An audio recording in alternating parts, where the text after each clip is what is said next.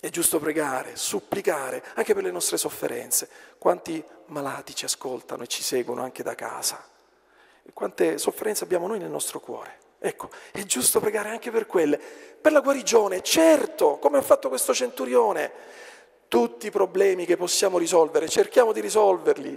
Chiediamo al Signore che venga a curarci, a guarirci, proprio concretamente, come ha voluto Padre Pio con la costruzione di un ospedale ma quei problemi che non possiamo risolvere, beh, quelli forse sono venuti a risolvere noi, sono venuti a cambiare il nostro cuore.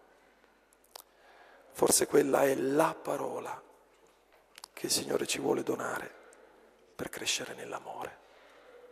Solo chi soffre sa amare veramente.